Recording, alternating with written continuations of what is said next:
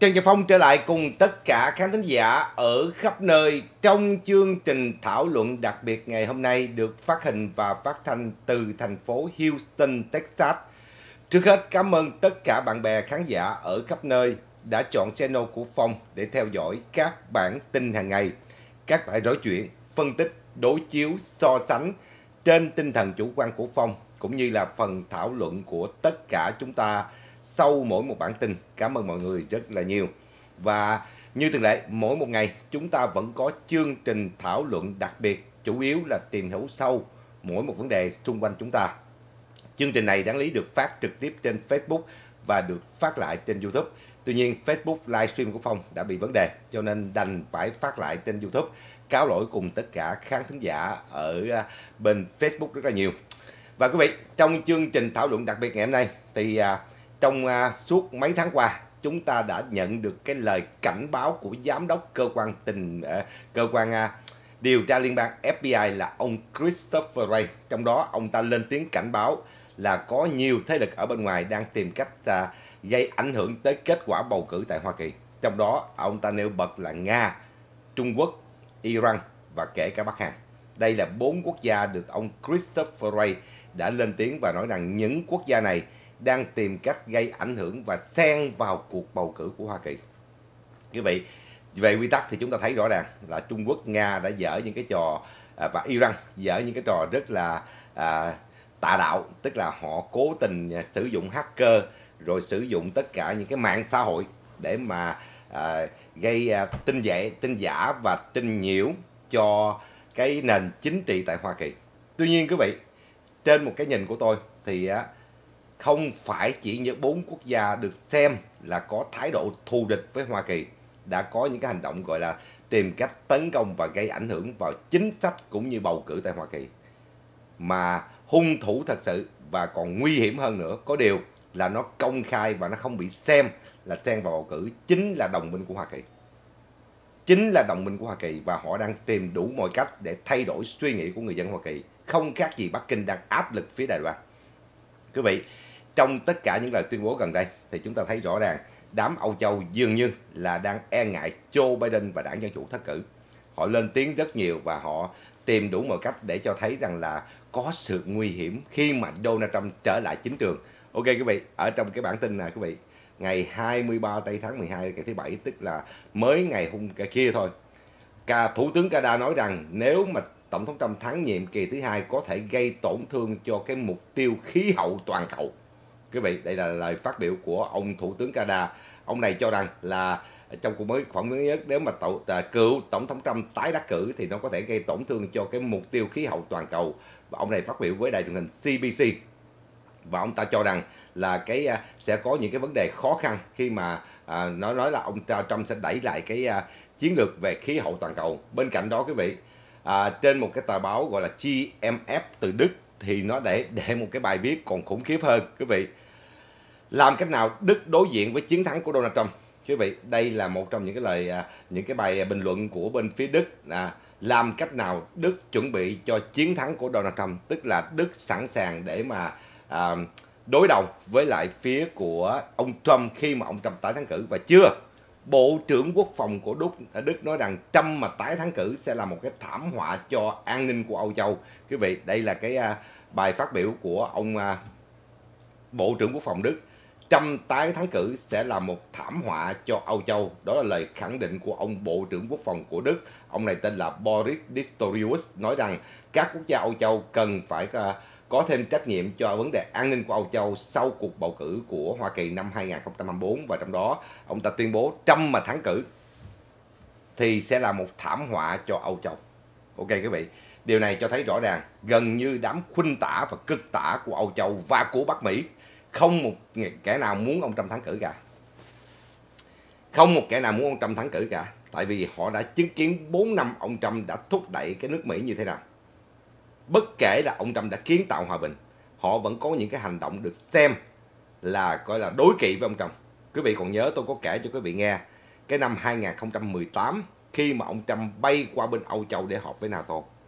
Thì quý vị, câu đầu tiên, ông hỏi hai câu đó quý vị. Ông hỏi tại sao chúng tôi là đồng minh của quý vị, mà quý vị không mua năng lượng của chúng tôi, mà quý vị đi mua của Nga. Quý vị đang lệ thuộc nguồn năng lượng của Nga.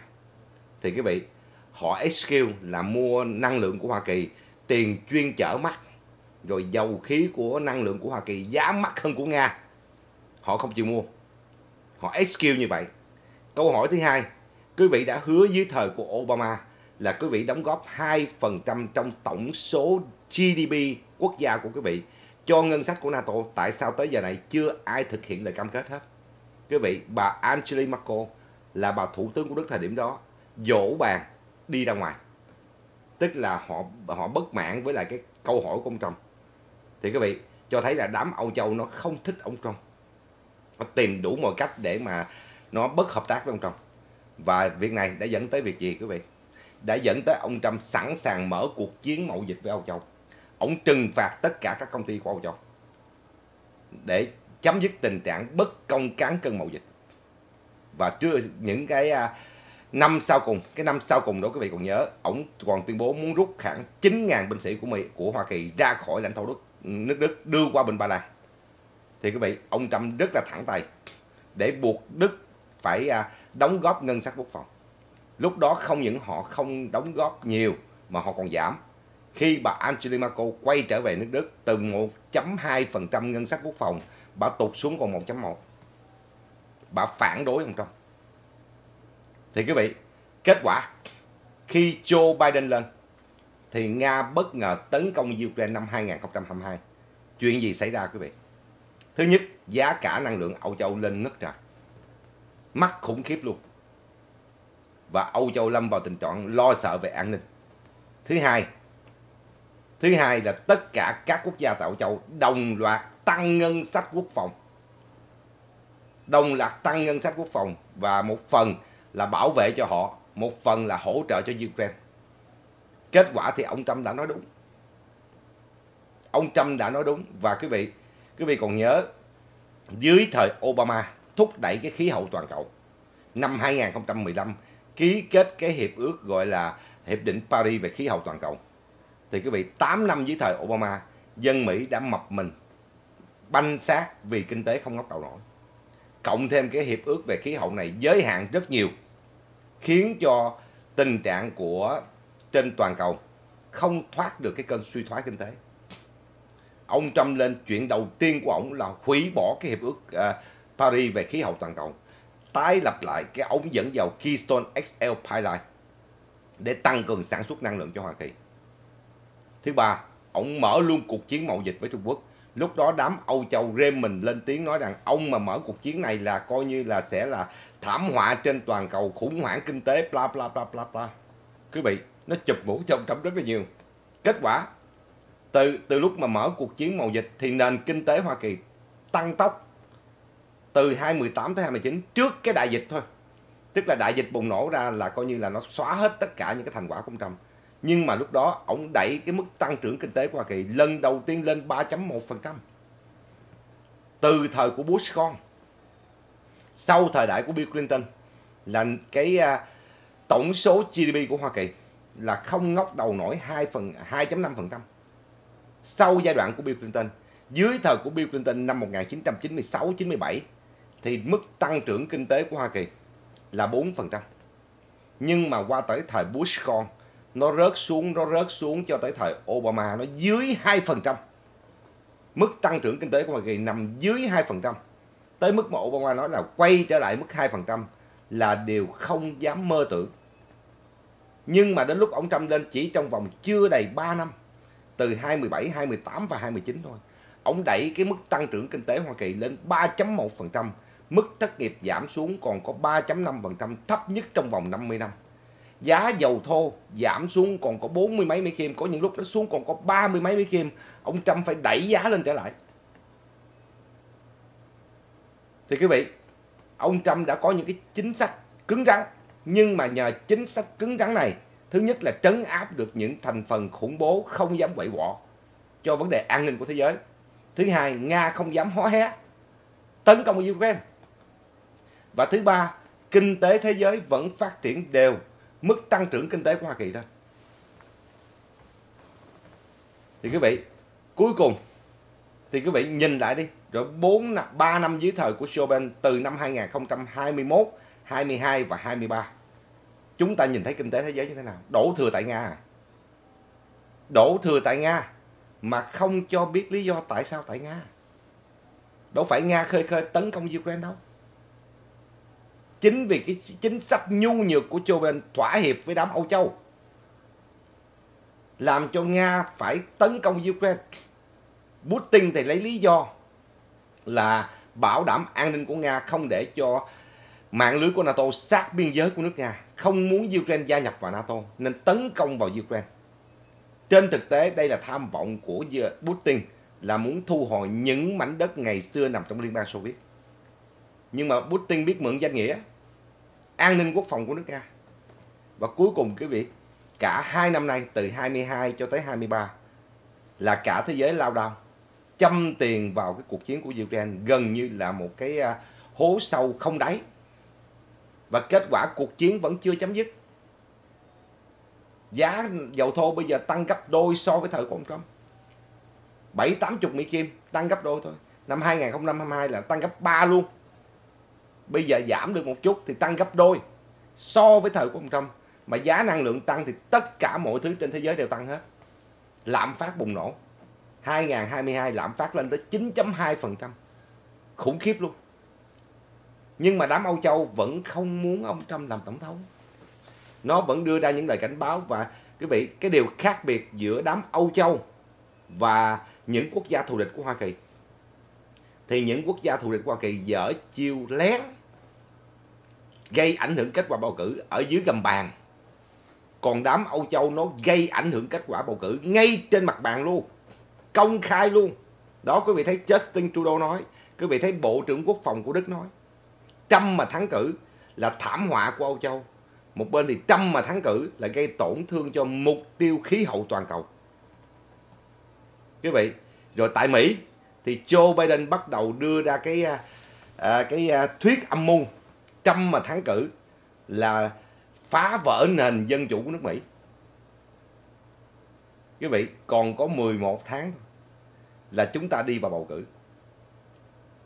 Và bây giờ là tất cả chiến dịch gây ảnh hưởng bầu cử rất rõ ràng. Ở đây tôi không nói những quốc gia thù địch là Nga, Trung Quốc, Bắc Hàn hay là Iran. Tôi nói ngay chính cả những đồng minh của Hoa Kỳ. Những người, những quốc gia mà Hoa Kỳ hy sinh xương máu rất là nhiều. Từ cuộc chiến Normandy năm 1944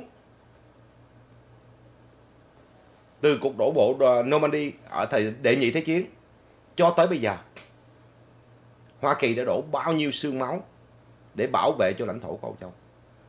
Thậm chí là quý vị, khi mà khối cộng sản trỗi dậy đe dọa tới an ninh quốc phòng của Âu Châu thì Hoa Kỳ cũng đã giúp cho Âu Châu đánh bể cả cái liên bang Yugoslavia, liên bang Nam Tư, được xem là một thế lực đứng sau Nga, uy hiếp cả Âu Châu. Cả một cái liên bang Nam Tư bị bể thành từng nước nhỏ. Từ Croatia, Bosnia cho tới North Macedonia, tất cả đều bể ra từng nước nhỏ. Triệt tiêu luôn cái mầm móng đe dọa an ninh tới Âu Châu. Là công trạng của Hoa Kỳ. Nhưng mà quý vị, họ nhìn về Hoa Kỳ là họ muốn giống như là Hoa Kỳ là phải đóng góp trách nhiệm của mình. Trong khi đó ông Trump ông đòi hỏi sự công bằng. Ông đâu có kỵ đâu. Đồng, mình đâu có kỵ đồng minh đâu. Mình hỗ trợ cho đồng minh mà. Nhưng mà phải có sự công bằng. Đó tôi đã từng nói quý vị là có bao giờ ngoại trừ ông Trump ra có một cái công ty nào của Âu Châu bị phạt bởi Hoa Kỳ không? Từ ngày Joe Biden lên trong khi liên tục các công ty Hoa Kỳ thì bị giám sát, bị phạt bởi Âu Châu. Thậm chí bây giờ công ty của platform X của ông Elon Musk cũng đang trở thành cái mục tiêu tấn công của đám Âu Châu. Với danh nghĩa là misinformation với disinformation. Trong khi đó, chúng ta bị đối công, bất là cái cán cân mậu dịch, nó cũng mất quân bình. Chúng ta vẫn chưa làm gì được. Hàng của Âu Châu vẫn tràn ngập Hoa Kỳ hàng của Hoa Kỳ hay là mặc ờ, những cái đồ của Hoa Kỳ qua Âu Châu thì bị giới hạn. Đây không phải là lần thứ nhất đâu, quý vị. Đây không phải là lần thứ nhất mà đám Âu Châu chơi xỏ với Hoa Kỳ đâu.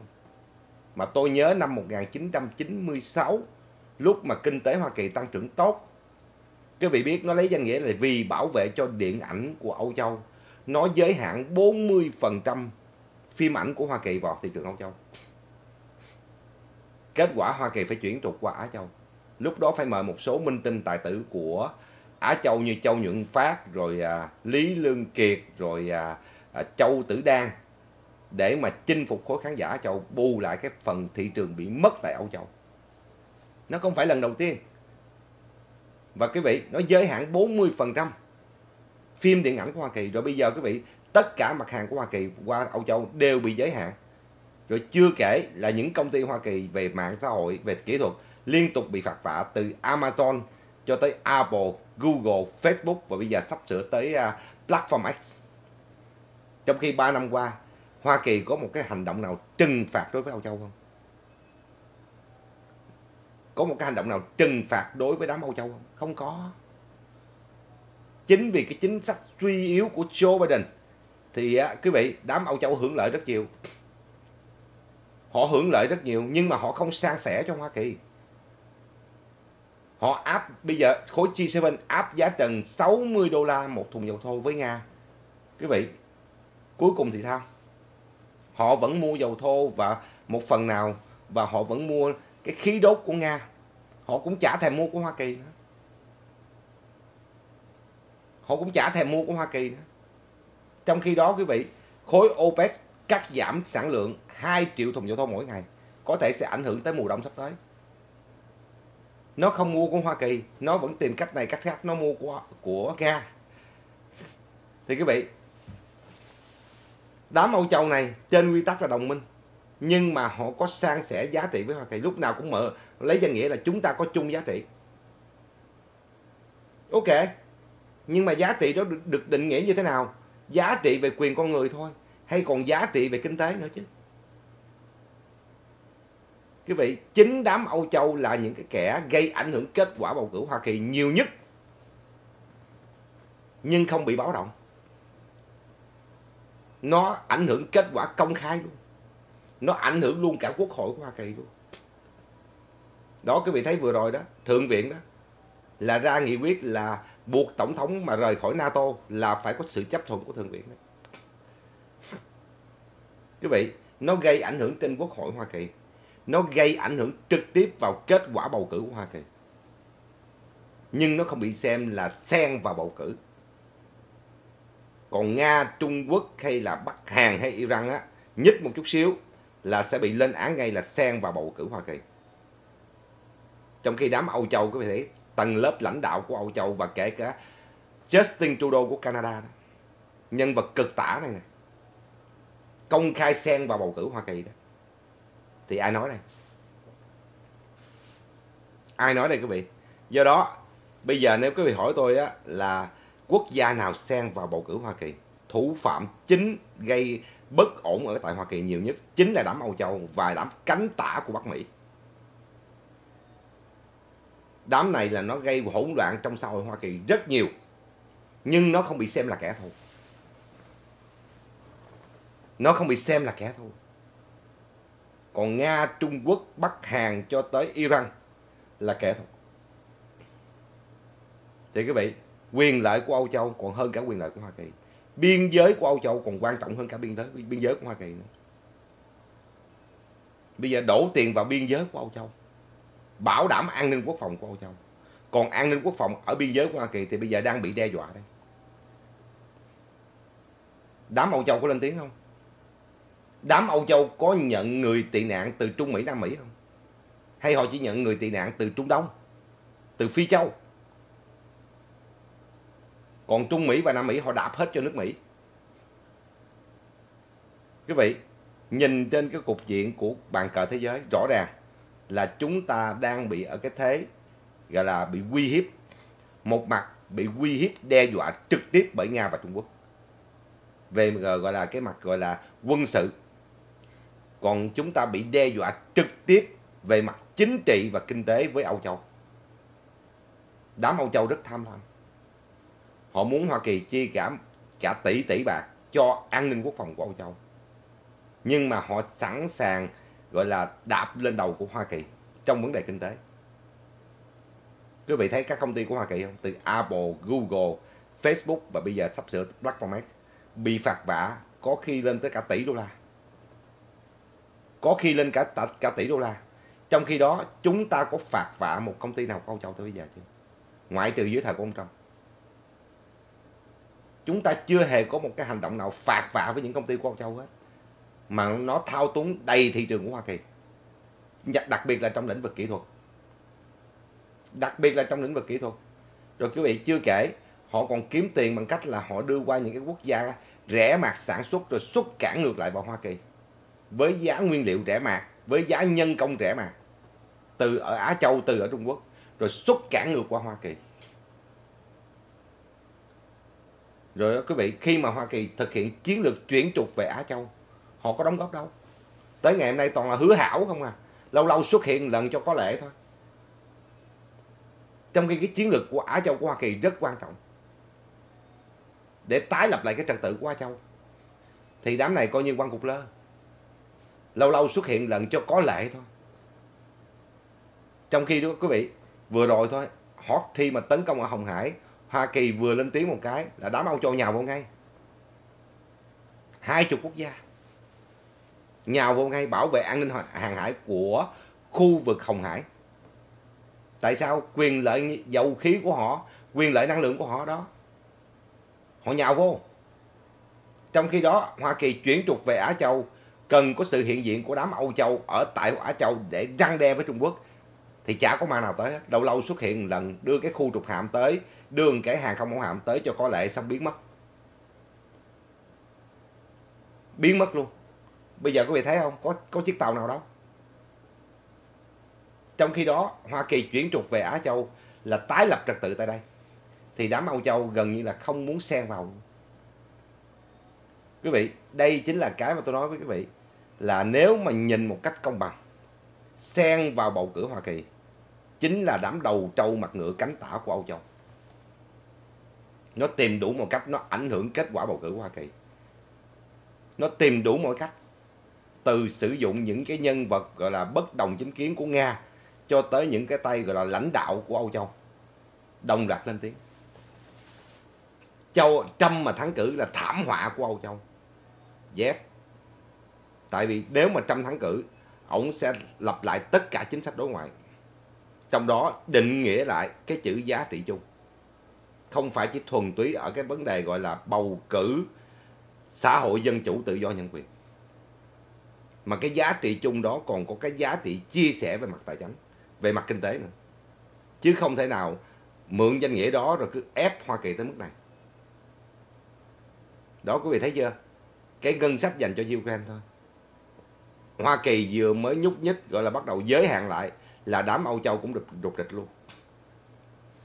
Thì quý vị rõ ràng họ vẫn muốn Hoa Kỳ đóng vai trò cảnh sát bảo vệ cho nhà của họ. Nhưng mà họ không muốn Hoa Kỳ có quyền lực nào hết. Họ thao túng hết từ chính trị tới kinh tế. Nguyên một cái liên hiệp Âu Châu 31 3, 27 quốc gia nó bỏ chung một lá phiếu. Lần nào Hoa Kỳ cũng bị thua ở trên WTO kiện là thua. Tại bỏ phiếu trên đó mình có một phiếu à. Họ 27 phiếu bỏ chung một quyết định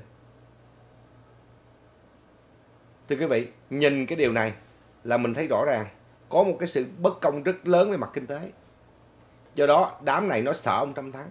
Tại vì ông Trump là người sẽ chấn chỉnh lại tất cả những điều này. Ông đâu có để cho cái đám Âu Châu lạm dụng Hoa Kỳ kiểu đó. Cho nên nó coi ông Trump là thành phần nguy hiểm. Bằng mọi cách là nó phải giúp cho Joe Biden thắng cử hay là đảng Dân Chủ thắng cử. Tại vì nó biết được 4 năm ông Trump làm việc rồi. Là nó đã, nó đã đọ sức 4 năm với ông Trump rồi. Thì bây giờ mà ông Trump lấy thêm 4 năm nữa thì đám Âu Châu dài mặt thôi. Cho nên nó bằng mọi giá nó xen vào bầu cử bằng một cách trắng trợn như vậy. Nó tuyên bố thẳng thừng đó. Tức là nó gây ảnh hưởng tới cái suy nghĩ của người dân Hoa Kỳ. Thì quý vị đám này mới là cái đám xen vào bầu cử của Mỹ nhiều nhất và đám này mới gây ảnh hưởng kết quả bầu cử của Mỹ nhiều nhất. Chứ không phải là những quốc gia như là Nga, Trung Quốc hay là Bắc Hàn hay là Iran. Nếu mà chúng ta nhìn một cách công bằng thì đám này là cái đám gọi là tìm đủ mọi cách gây ảnh hưởng kết quả bầu cử tại Hoa Kỳ. Và chính điều này nó làm cho nước Mỹ bị suy yếu. mở miệng ra là nó đặt vấn đề chính trị hết. Lúc nào nó cũng đòi là đối thoại đa phương đa phương hết. Đa phương mình làm sao có lợi? Họ nguyên một đám nguyên một đám Âu Châu là nó nó bỏ phiếu lúc nào cũng hơn mình mình có một phiếu à. Bên Mỹ này có một phiếu à. Trong khi đó họ 27 quốc gia nằm trong Liên hiệp Âu Châu. Lúc nào mình cũng bị thiệt thòi hết. Do đó ông Trump ổng đưa cái uh, học thuyết của ổng là đối thoại song phương. Đám Âu Châu sợ chuyện này lắm. Tại đối thoại tay đôi với ông Trump nó không có cửa. Nó không có cửa để mà thương thảo với ông Trump còn bây giờ nó dùng áp lực của nhiều quốc gia lại, nó lúc nào cũng đối thoại đa phương hết. Thì quý vị, ông Trump chơi đơn phương đôi song phương thôi. Chỉ có tôi với anh thôi, không có nước khác thứ ba xen vào xen vào. Thì tụi nó sợ. Tại vì nó biết, nếu mà ông Trump mở, ông Trump thắng cử trở lại, tất cả các vấn đề từ chính trị, quân sự cho tới kinh tế, ông sẽ mở các cuộc đối thoại song phương. Ông không muốn đa phương nữa. Tại vì ông thấy rõ ràng, Hoa Kỳ bị ép đa phương cãi qua cãi lại tới lúc bỏ phiếu. Mình có một phiếu à. Lần nào mình cũng thiệt thòi hết. Do đó ổng chơi cái kiểu song phương thôi. Thích thì điêu không thích thì dẹp. Và đặc biệt là đức. Đức là một cái ờ, cái, cái uh, quốc gia đã từng được hoa kỳ giúp trở thành một cường quốc kinh tế của cả Âu Châu. Nhưng nó là đây là một cái xã hội rất tham lam. Đám chính trị gia ở đây rất tham lam. Nó duy trì quyền lợi và đẩy tất cả những trách nhiệm qua Hoa Kỳ. Thì quý vị, đây sẽ là một cái bài toán thách thức cho Hoa Kỳ khi mà những kẻ thù và chính đồng minh của mình cũng đang đâm sau lưng mình. Đương nhiên do người dân Hoa Kỳ bỏ phiếu. Tất cả là do người dân Hoa Kỳ bỏ phiếu. Nhưng quý vị, những người dân Hoa Kỳ sẽ bị ảnh hưởng bởi những chính trị gia thân thân Âu Châu. Nó sẽ tìm cách thuyết phục các cử tri. Đây là cách mà đám Âu Châu làm. Nó thông qua một số chính trị gia thân Âu Châu tại đây. Pro, nó gọi là pro Europe. Để mà quý vị đó duy trì quyền lợi. Do đó, đối với đám Âu Châu, ông Trump trở thành kẻ thù. Đối với đám Âu Châu, ông Trump trở thành kẻ thù trong khi ông Trump ông chỉ nhắm vào cái chiến lược ở Trung Quốc cái chiến lược Á Châu Thái Bình Dương và ông sẽ chấn chỉnh lại tất cả mọi thứ từ Liên Hiệp Quốc cho tới NATO. Thích thì điêu, không thích thì chấm dứt. Đây là cách mà ông Trump sẽ làm. Và nó làm cho nước Mỹ khẳng định lại cái tư thế của mình. Không thể để cho lạm dụng kiểu này được. Vừa vừa phải tốn tiền thuế vừa phải tốn nhân mạng sinh mạng cho một cái à, an ninh mà nó không thuộc về nước Mỹ. Cho một nền an ninh không hề thuộc về nước Mỹ. Quý vị, đây sẽ là một trong những cái mà ông Trump sẽ làm trong tương lai. Do đó, đám Âu Châu gần tới ngày bầu cử, nó sẽ càng ra sức nó công kích ông Trump, ông Trump hơn là bao giờ hết. Và đám Joe Biden bắt đầu đưa hàng bằng cách là chụp mũ cho ông Trump là phản dân chủ. Trong khi chính Joe Biden là một kẻ phản dân chủ. Nhưng mà nó chụp mũ lại cho ông Trump. Tương tự như Hillary Clinton là kẻ có quan hệ với Nga nhưng lại chụp mũ cho ông Trump là có liên hệ với lại Nga trong cuộc bầu cử. Một bài bản, một chiêu thức, nó vẫn lặp đi lặp lại. Vấn đề là người dân Hoa Kỳ thức tỉnh, họ sẽ chọn đúng cái hướng đi của đất nước này. Họ không ke ông tổng thống là ai đâu. Họ chọn ông tổng thống nào mà chọn đi cái hướng đúng cho đất nước này. Chứ không phải là một cái kẻ gọi là toàn cầu hóa giống như như là Biden. Biden là một kẻ toàn cầu hóa. Do đó, ông ta thúc đẩy có lợi cho Âu Châu nhiều hơn không có cái gì có lợi cho Hoa Kỳ cả ok quý vị đây là cái bài phân tích thảo luận cho quý vị thấy thật sự, những kẻ xen vào bầu cử Hoa Kỳ chính là đám Âu Châu và đám đồng minh của Hoa Kỳ không ai khác hết Cảm ơn tất cả các thính giả rất là nhiều cho bài nói chuyện này. Phong sẽ trở lại cùng tất cả các thính giả ở khắp nơi trong chương trình kế tiếp của TNP Channel. Xin quý vị và các bạn nhớ đón nghe và theo dõi. Mến chào tất cả các thính giả. Chúng ta gặp lại sau. Bye bye.